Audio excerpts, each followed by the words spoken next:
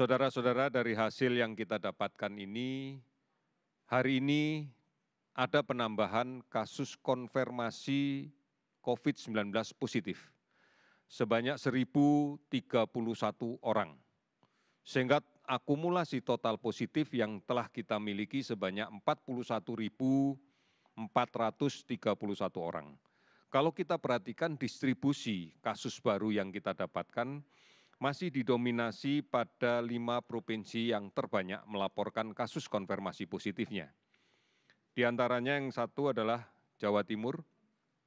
Hari ini melaporkan ada dua ratus dua puluh lima kasus baru dan lima puluh enam kasus sembuh. Kemudian dki jakarta satu ratus dua puluh tujuh kasus baru dan satu ratus enam belas sembuh. Jawa tengah melaporkan satu ratus lima belas kasus dan enam puluh lima sembuh. Kemudian kalimantan selatan delapan puluh enam kasus dan delapan puluh sembuh. Sulawesi selatan delapan puluh empat kasus dengan enam belas sembuh. Ada tujuh belas provinsi yang hari ini melaporkan penambahan kasus di bawah sepuluh dan ada empat provinsi yang hari ini tidak melaporkan ada penambahan kasus sama sekali beberapa provinsi yang melaporkan jumlah sembuh lebih banyak daripada kasus positif yang dilaporkan hari ini di antaranya adalah nusa tenggara barat dua puluh satu kasus baru dan tiga puluh satu sembuh.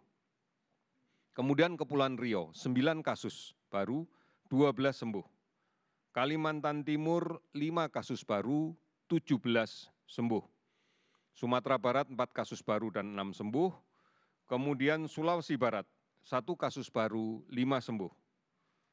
Kalimantan utara tidak ada laporan kasus baru tapi delapan sembuh.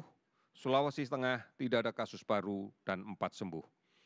Komunikasi yang kami lakukan dengan dinas kesehatan terkait dengan masih tingginya kasus ini ini diperoleh dari tracing atau penelusuran kontak dekat dari kasus positif yang dirawat di rumah sakit dilakukan secara lebih agresif dan kemudian dilakukan pemeriksaan dengan menggunakan pcr atau tcm